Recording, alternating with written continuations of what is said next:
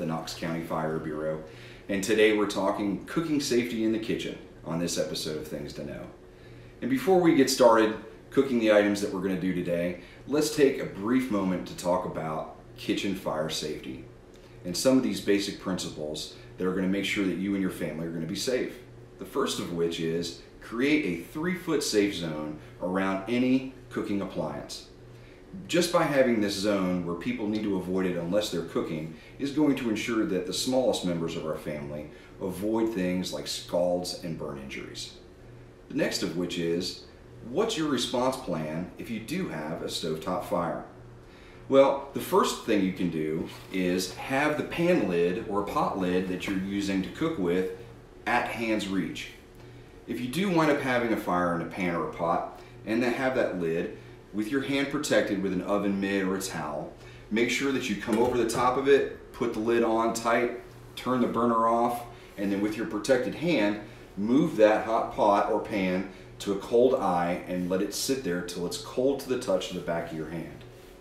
Making sure that it's cold to the touch to the back of your hand ensures that that heat is completely gone. And if you, the heat is not completely gone, if you take the pot lid off, the chances of having another fire come back are pretty high. Now, what if you have a pot or a pan that you're using that doesn't have a lid, didn't even come with one, right? The next thing to do is to use something like a cookie sheet. Just having a cookie sheet handy on the counter while you're cooking, if you do experience a stovetop fire, you take the cookie sheet, slide it over the top of the pan so it completely covers the pan, turn the burner off, and let it sit there. And remember, again, cold to the touch the back of your hand and that'll make sure the fire goes out. The next item would be something like a fire extinguisher. And the important part about having a fire extinguisher handy is that it's a safe distance away from the kitchen, so if there is a fire, when you activate your home fire escape plan, you're going to retreat to safety to get your fire extinguisher while you make sure everyone is evacuating the home to your safe meeting place. So in our house, it happens to be in the front hall closet. So let's go take a look. In our house, it happens to be in the front hall closet. It's right here at arm's reach, just above the coats. So if we ever have a kitchen fire, we come to the closet, grab the fire extinguisher, return to the kitchen, and extinguish that fire. All right, the first item we're gonna cook is our breakfast item. It's really popular in our house, it's super easy. The things you're gonna need for this um, is a bread, right? Bagels, toast, English muffins, you could do whole grain toast, just you need a bread item. You're gonna need eggs. We put a lot, we put a little bit of shred cheese in ours. Um, parents, you know, microwave bacon as opposed to frying bacon, especially if you're gonna have kids that may want to try this recipe. Um, microwave bacon is a lot easier, a lot safer than having to fry it. So microwave bacon, butter, margarine, whichever your personal choice is, and sliced cheese. Now what we're going to do is we're going to go ahead and get everything together. The first of which is we're going to load up the toaster with our bagel.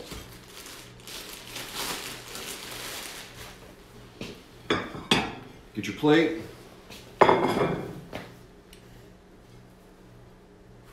Go. And in the toaster we go.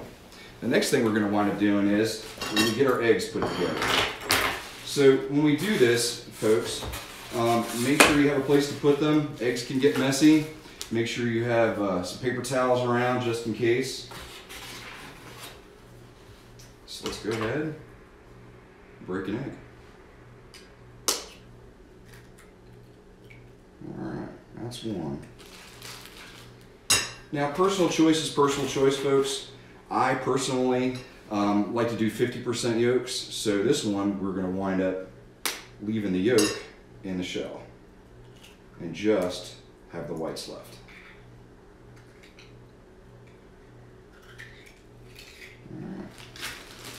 There you go. All sealed up. Ready for the garbage. All right. So now, put our eggs off to the side. Now you want to whisk this together.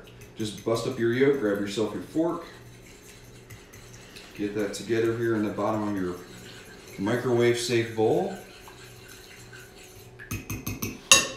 Alright.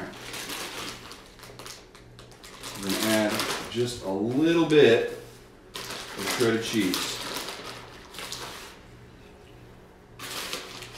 Two pinches should do it.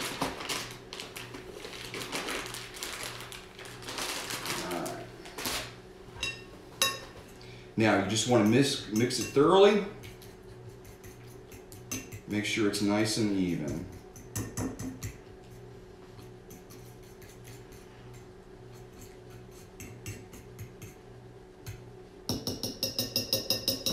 All right. Next thing we're going to do is we're going to go ahead and get ready for our bacon.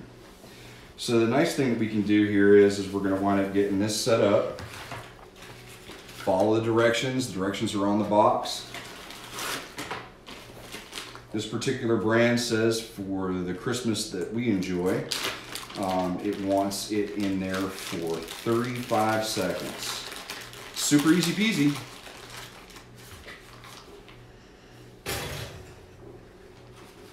All right, get your bacon arranged on the wax paper so everything cooks thoroughly. Cover it with a paper towel, and then we're gonna go ahead and get it in the microwave.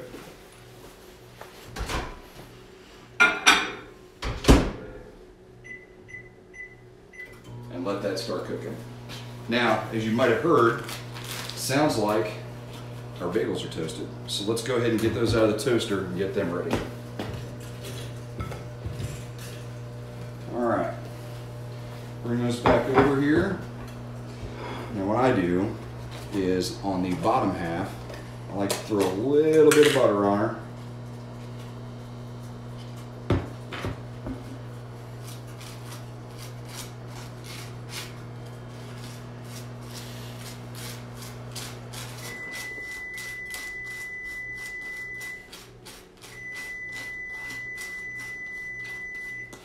All right. Now, the buzzer means that our bacon's ready, let's go ahead and get that out. Remember, when you're using the microwave, make sure that you're able to reach up and over any lip that might be in the microwave so you're not catching anything that you're pulling out. Especially if you're warming up something like soup, for instance, in a microwave bowl, that you don't catch the lip and accidentally spill it on yourself, give yourself a bad scald or burn injury.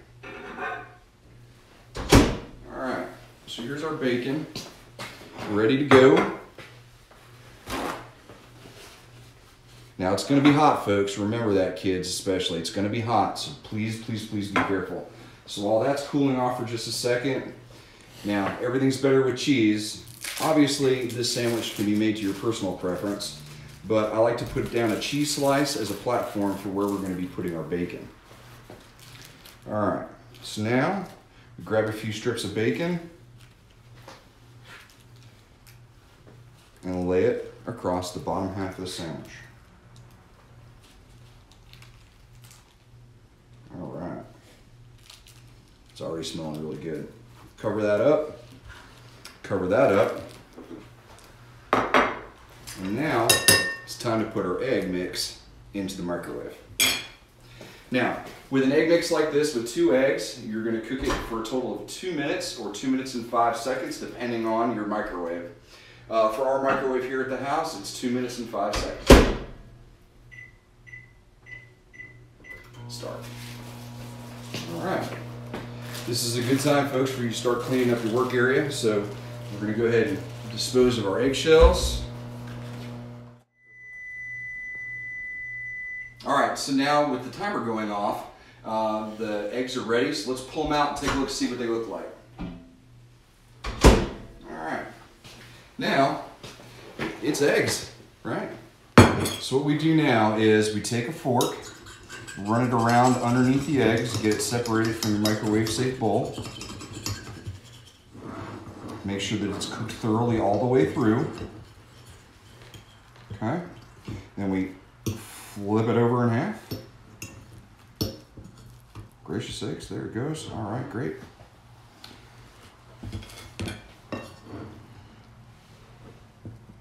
Put it on top of our sandwich. Drop that right down on top of it.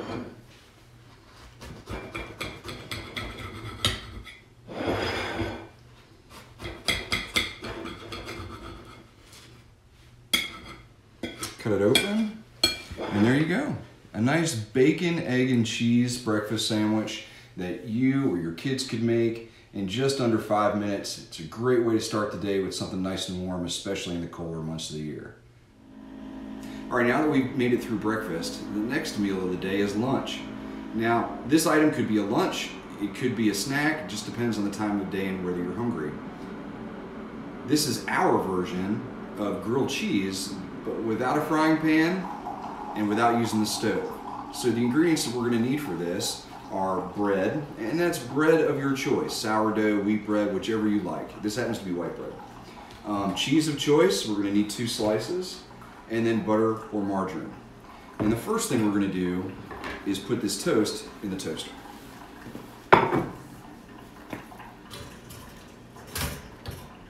Now while that's toasting, and I go ahead and get my coffee ready, as soon as that's done, we'll go on to the next step.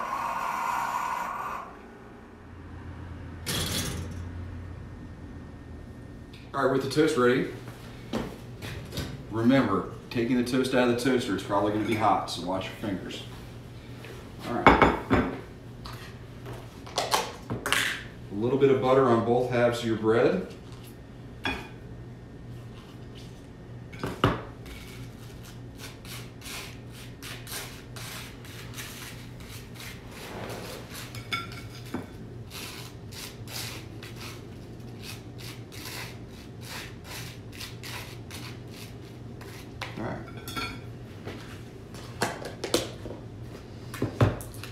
Two slices of cheese.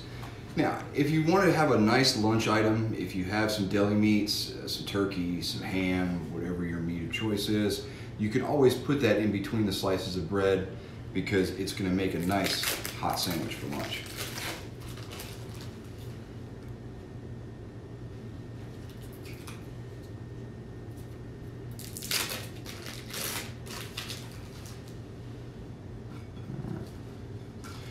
Sandwich those together. Now, as a cook's tip, go ahead and cut this before you wind up melting the cheese. Kids, make sure that your parents are okay with you using knives before you use one. Always make sure that you keep your fingers away from the cutting end of the, of the knife and uh, always be safe. All right, so now we've got that ready, we're gonna put it in the microwave. Remember, only use microwave safe dishware in the microwave. Now we're gonna cook this for 30 seconds. Start.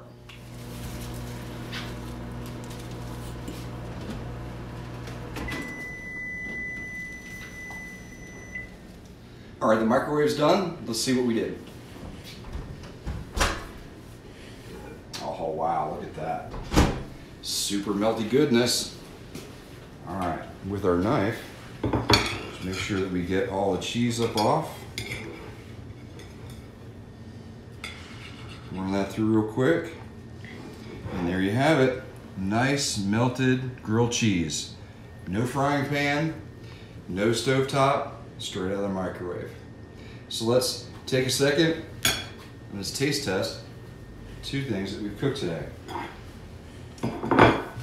First of all, our breakfast sandwich. A little bacon, egg, and cheese.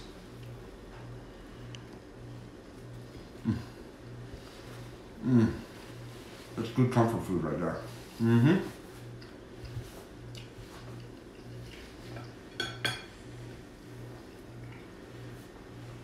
And then our no frying grilled cheese sandwich. Oh, crisp bread, melted cheese, good wintertime comfort food. All right, folks. Thanks for joining us today on this episode of Things to Know. Remember, if you're going to be cooking in the kitchen, kids, kids with parents, make sure that you work together, learn how your appliances operate, make sure you learn these basic principles and how to be safe inside the kitchen, and have fun and develop your own recipes. We'll see you soon.